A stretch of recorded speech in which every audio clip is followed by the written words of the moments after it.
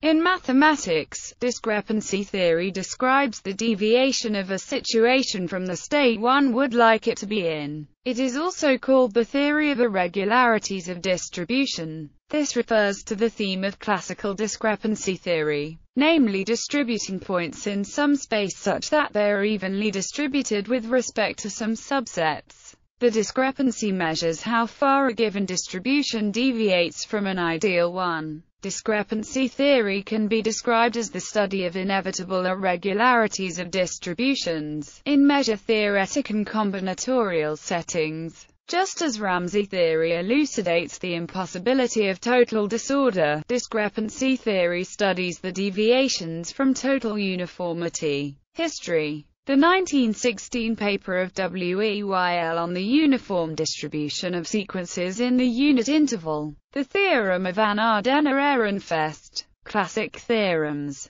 axis parallel rectangles in the plane, discrepancy of half-planes, arithmetic progressions, Beck-Fiala theorem, six standard deviations suffice, major open problems, axis parallel rectangles in dimensions 3 and higher. Komlós conjecture, the three permutations problem, disproved by Newman and Nikolov. Erdos discrepancy problem, homogeneous arithmetic progressions, the problem was stated by Erdos, who offered $500 for the proof or disproof of the conjecture. A computer-assisted proof of a special case of the conjecture was published in February 2014. In September 2015, Terence Tao announced a proof of the conjecture, Heilbronn triangle problem on the minimum area of a triangle determined by three points from an n-point set. Applications numerical integration, Monte Carlo methods in high dimensions,